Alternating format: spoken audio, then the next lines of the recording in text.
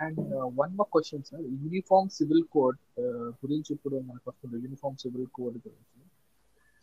Uniform civil code అంటే ఇది conditions అంటే ఇప్పుడు మన దగ్గర చాలా మ్యారేజెస్ ఉన్నాయి. హిందూలో కూడా డిఫరెంట్ కైండ్ ఆఫ్ మ్యారేజ్ ఉన్నాయి. నార్త్ సైడ్ వచ్చేస్తే ఇప్పుడు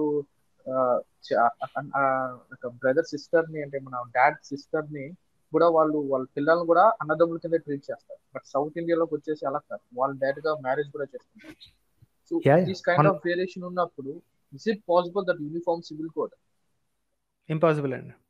ఇంపాసిబుల్ అట్లీస్ట్ మన ఇంత డైవర్స్గా ఉన్న కంట్రీలో అది ఇంత పెద్ద కంట్రీలో యూనిఫామ్ సివిల్ కోడ్ అది కూడా ప్రైవేట్ లైఫ్తో సంబంధించింది కదా it's not possible criminal code మన దగ్గర ఆల్రెడీ ఉంది కదా.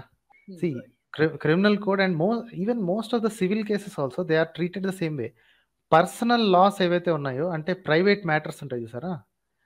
కుటుంబం ఆస్తి things that are very personal to people right అలాంటి వాటికి culture culture and religion and customs ఆ ప్రాంతపు customs there are some customs that are exclusively for Karnataka అలాంటి సిచ్యువేషన్స్ బయట వాళ్ళకి అర్థం కూడా కావు.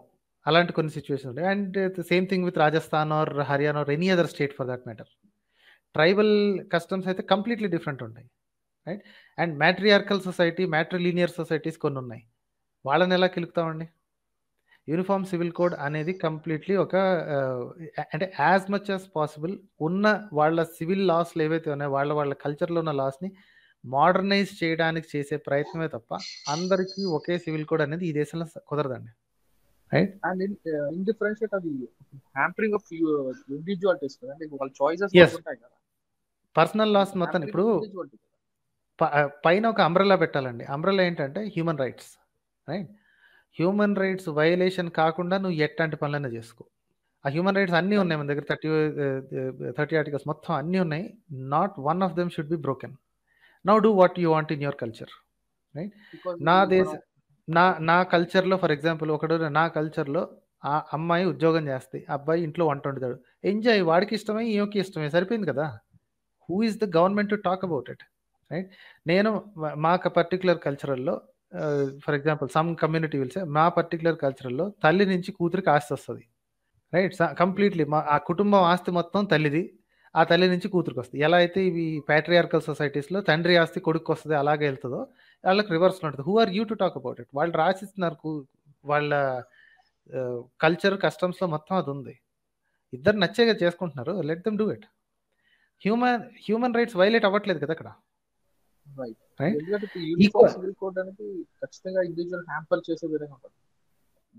డెఫినెట్లీ ఇది ఈ ఇప్పుడు వీళ్ళు చెప్పుకునే యూనిఫామ్ సివిల్ కోడ్ అండి వాళ్ళకి కూడా కుదరదండి. జస్ట్ ఏంటంటే ఫస్ట్ అబ్జెక్షన్ చేసేది మైనారిటీస్ కాబట్టి వీళ్ళ ఉద్దేశం ఏంటంటే అరే యూనిఫామ్ సివిల్ కోడ్ అంటే వాళ్ళకి భయం వేస్తున్నారు. సో కాబట్టి దాన్ని ఒక ఆయుధంగా వాడుకుందాం అని మొరుగుతున్నారే తప్ప ఈ ధర్మరక్షకులు అని చెప్పి సనాతనవాదులు అని చెప్పుకునే వాళ్ళు వీళ్ళకి కూడా యూనిఫామ్ సివిల్ కోడ్ సూట్ అవ్వదండి. యూనిఫామ్ సివిల్ కోడ్ అయితే ఆడవాళ్ళకి సమాన హక్కులు ఇవ్వాలి. ఎట కుదురుతుంది వాళ్ళ వాళ్ళ మతంలోనే కుదర లేదు అసలు. సమాన హక్కు అన్న మాటే వాళ్ళ మతానికి అసహ్యమైన పదం అది. సమాన హక్కులు అంటే బ్రాహ్మణుడికి శూద్రుడికి మిగతా ఉన్న మధ్యలో ఉన్న అన్ని వర్ణాలకి కులాలకి అందరికీ సమాన హక్కులు. ఎట్లా కుదురుద్దండి వాళ్ళ వల్ల కాదండి అది ఇంపా completely one hundred percent Hindus ఉన్న స్టేట్ ఏదైనా ఉంటే ఇన్కేస్ లేదనుకోండి ఈవెన్ అందులో ఉన్నా సరే యూనిఫామ్ సివిల్ కోడ్ ఉండనే ఉండదండి. They will not accepted. అంత అంత నీచమైన మెంటాలిటీ ఉండి ఓన్లీ మైనారిటీస్ని మిగతా వాళ్ళని వాళ్ళ పర్సనల్ విషయాల్లో తలదూర్చి కెలికి ఇది ఒక టాక్టిక్ లాగా వాడుకోవడమే తప్ప జరిగే పని క్రిమినల్ కోడ్ ఉంది కదా. Why do have to put inside their road వాళ్ళ ఇళ్ళలోకి వాళ్ళ పర్సనల్ మ్యాటర్స్లోకి ఎందుకు? Slowly make it a civil matter ఇప్పుడు ప్రాపర్టీ డిస్ప్యూట్స్ ఉన్నాయండి రైట్ ప్రాపర్టీ డిస్ప్యూట్స్లో ఎవరికి వాళ్ళకి ఇవి ఉన్నాయి.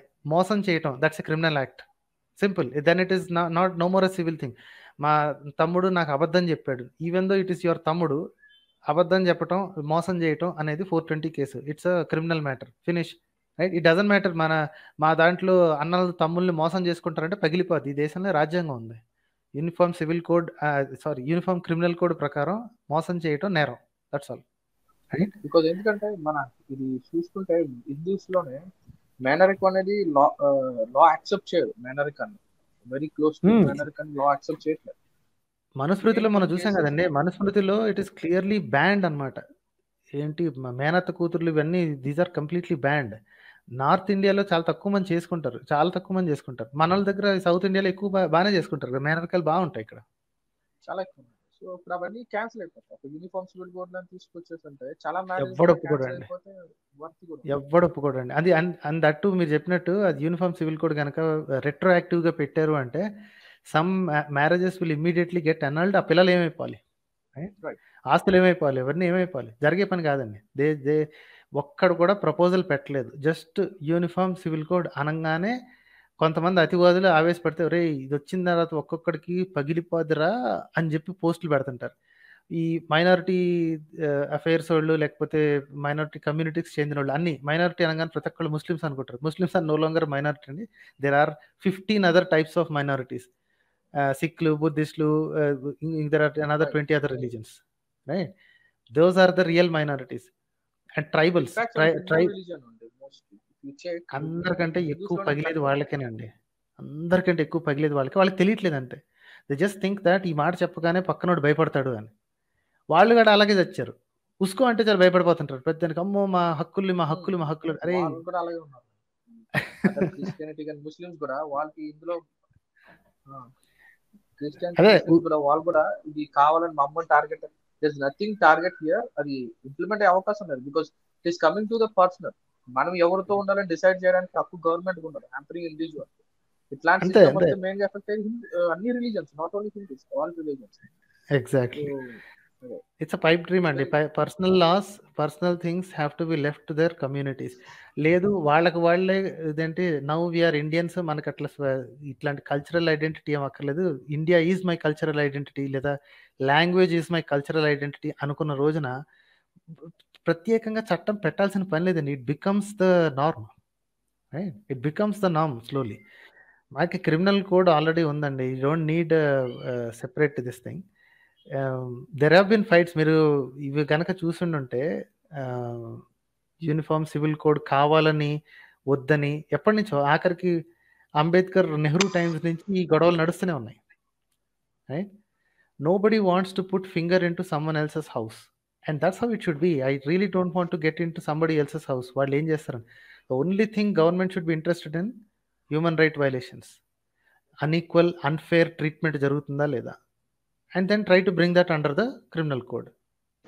అంతవరకే. రైట్? ఐ వస్తే నేను హ్యాపీ ఫీల్ అవుతా. జనాలు చాలా మంది అంటారు. "ఏయ్! ఈడికి యూనివర్సల్ ఆహ్, యూనిఫార్మ్ సివిల్ కోడ్ అంటే వీడు భయపడతాడు." No I am not at all worried. If everything if everybody is accepting it, i also will accept it. how will you get everybody's acceptance? Right? And so many uh, different people. cannot happen. Right? Right, right Saritha. thanks a lot And Andravita. yeah thank you. Thank you so much thank you so much for that